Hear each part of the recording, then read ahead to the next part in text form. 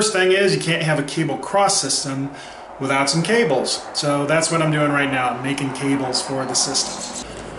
I've done some work with wire rope before, pardon the sun, it's just crazy. I'm in the sunroom there, I don't know is that any better. I've done some work with wire rope before, but a lot of this is new. This is one end of one of my cables, and so the idea is that you can hook things up to it like a carabiner,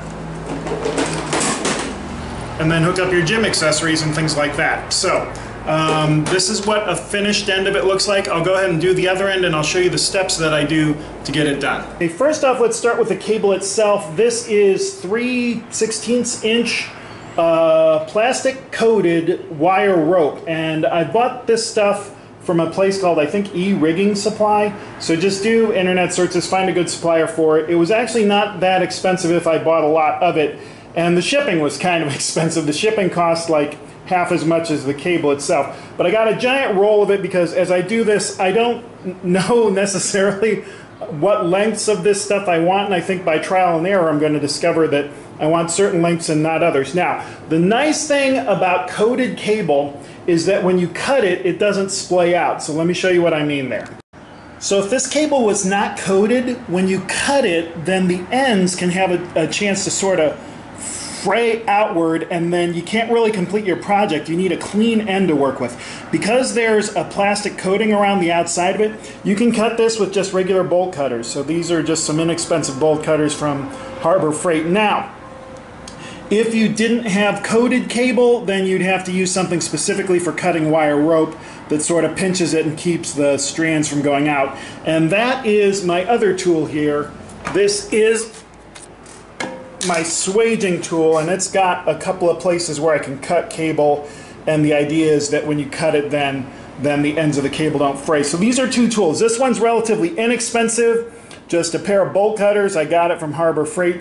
This one's actually very expensive. It's from a company called ARM, A-R-M, and there are less expensive swaging tools, and I think this is just one of those things where if you go with a cheap one, you're really going to be sorry. You will pay for it in frustration and wasted materials and just general bad time.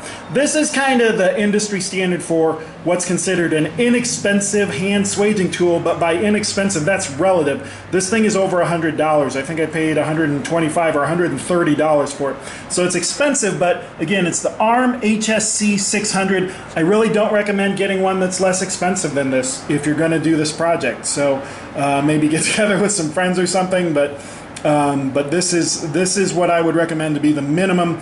If you want to try this with some inexpensive swaging tools from Home Depot or something, you're welcome to try it. They sell some that I think are $35 or so, and I think you'll really regret it over time. So bolt cutters to just cut the cable, or you can use the cable cutters here, but you have to strip the wire in order to cut it to let it fit in here, and then a swaging tool. So bolt cutters, swaging tool, those are the two big tools that you'll need for this. So you'll notice that I'm using the term swaging. What we're going to do is put the cable through here twice and then smush it down and then that'll hold the cable securely.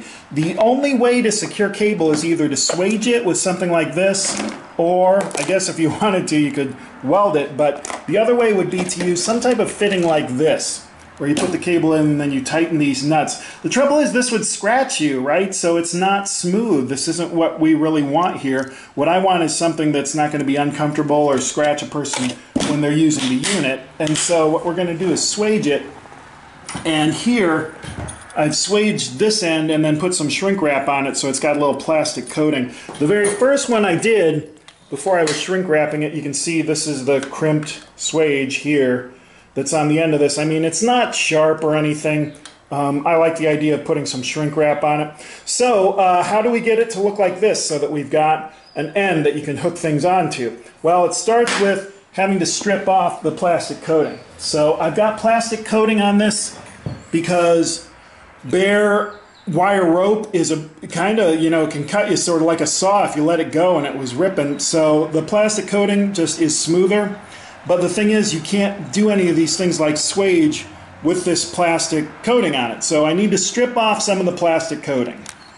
So I want to strip off a little more than six and a half inches, maybe six and five eighths inches, something like that. So uh, I'm going to go ahead and measure and then mark this thing so I can cut it. So there we go. So it's marked now. I'm going to take a utility knife and kind of cut all the way around this. The utility knife will cut through the plastic, but it is not sharp enough or strong enough to cut through the wire rope. The wire rope's just way tougher. Uh, this wire rope is like aircraft grade and I don't know, it holds, I think the uh, like the live load capability of it is three or 4,000 pounds or something. And then I think it like a standing load limit is up to 700 pounds or something like that. Um, but it's a lot, whatever it is. So once I've got that cut, then I need to strip it off. And this obviously dulls your utility knife very quickly. okay, and let's see if I can pull this off now. Uh, wait, there we go.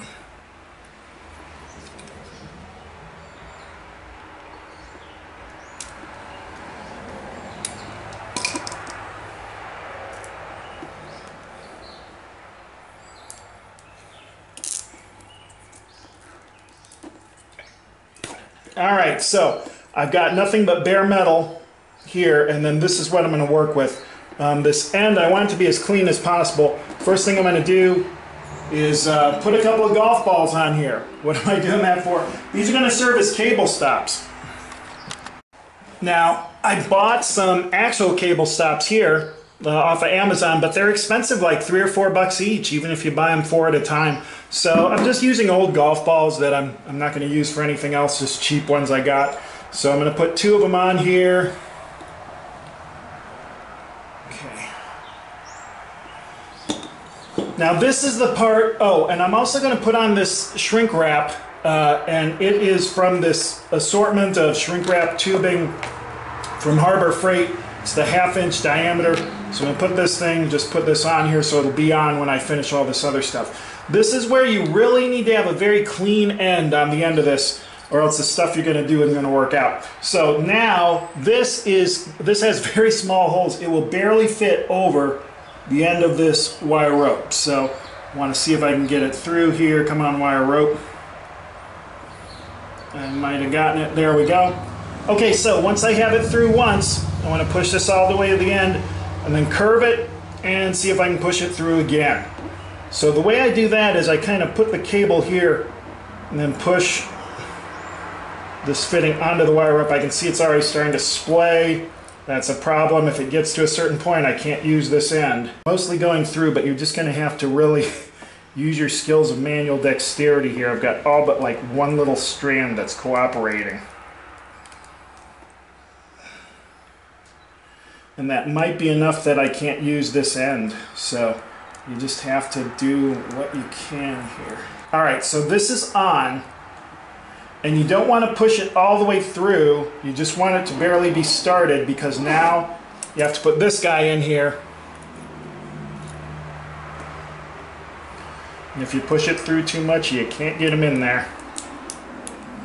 All right, he's in now. All right, so with any luck, I can push this thing through until I can see the end here on the other side. So I don't know if I'm going to be able to get in close enough to demonstrate that to you. All right, so um, I hope you can see that. It's kind of, you can see the very ends of it right there. Now we have to swage it. Swaging means smushing this aluminum, and you smush it so hard it actually becomes infused with the strands of the cable. So like the, the swaging actually mushes the aluminum into kind of the little recesses in the strands of the cable. So I'm going to grab my swaging tool here.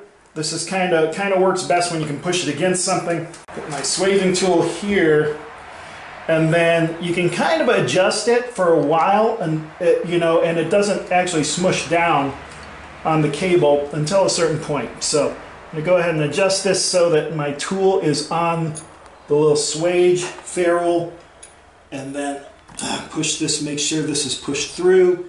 It is. Okay, so now once this is pushed through, I'm gonna smush. Time for the smushing. Okay, and once you got the first swage in there, then that thing's mostly good to go. All right, so I would like to have it sticking, you know, through a little bit more, but it's it's fine. And so now, once I've got one swage in there, I just make two more. And away we go. Swage number two. All right, so we've got that done now. And then you can see I've got kind of the ends of it done, and then I want to swage right in the middle.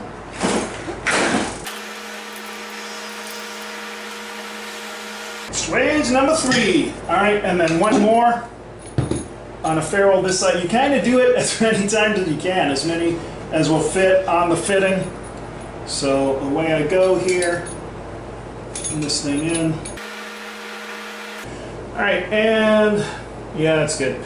Boom. Okay, so this would be enough, but then there's one last step that I kind of like because, again, this isn't really, you know, abrasive or anything. It's not going to harm you in any way, but it feels rough. It's, it's rough feeling. So what I want to do is cover it with some rubber or plastic.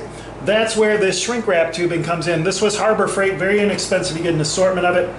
Uh, and then the largest one will fit over after you swage it. It won't fit over until you swage it though. So, all right, so I've got this thing on there. It's covering up all the ends. Let's go over to my shrink wrap gun.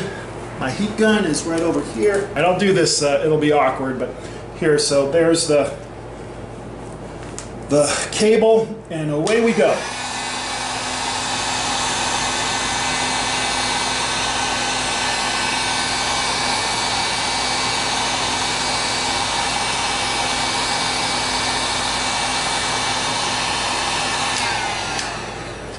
All right, so that kind of takes care of, um, you know, any feeling of comfort. It's just a plastic coating now on here. And then the golf ball service stoppers. I bought the genuine stoppers, but the golf balls are exactly the same size. So again, I'm just using old golf balls that I'm not going to have another purpose for. And there we go. We've got a cable end. So how does this work? Let's see. So this is kind of too long for this purpose. I'll be using this cable for uh, probably the cable cross when I incorporate both of the, the um, uh, cages. But here, let me show you, just to show you this works. So here, for instance, um, you know, you can just do tricep extensions. You can see how it works. I've got weight going up and down over there. Cable system up top. I think you can see it all. But yeah, I'll be discussing the construction of the cable cross system in a little bit, but this was just a video to show you how I'm putting together cables for it, so in case you had to replace a cable on your current system or were curious about that part of it, that's what this is for. So that's it. Total cost of that entire cable is less than a buck. Probably the most expensive part of it is the golf balls, so try and find a really cheap source for some crappy golf balls to use as the cable stops on the end. Or you can just do it without cable stops. I mean, it's up to you. Uh, I kind of like having them on the end, but I mean, they're not that really important.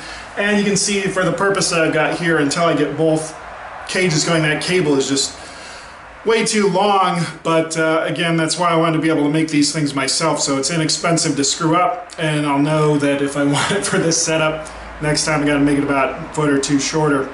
Um, other than that, yeah, it's going well. The video on the cable cross system itself, not just the cable, not just how to build cables, but the cable cross system with the pulleys and everything, that's going to be coming up in a little bit. But I didn't want to make the video just gigantic and include everything in it, so I figured uh, I would do the um, uh, how to make a cable as a separate video. So this is it. I mean, it's really buttoned up. I don't feel bad about this thing at all. I think it's it's perfect. So it works great as a cable. There are different ends you can put on it, but I'm just familiar with using these um, these things. Uh, they're called uh, what are they called? Thimbles. So I'm, I'm familiar with using thimbles and, and carabiners are cheap. This whole thing's been an education in just about everything. Carabiners, they don't all fit. They don't all work for every purpose. But a lot of it's coming together really well. Like the golf ball part was really kind of a neat revelation when I figured out that would work for a cable stop. So that's how to make a cable if you need to replace one or you're going to do a cable cross system like the one that I'm going to do. Waiting on things to arrive. They're being shipped and also waiting on one more sale from Titan Fitness. We'll see. I've got some things I want to buy from them, but I never like to pay full price for Titan because there's always a 10% off sale right around the corner. So everybody, have a great workout. We'll see you soon.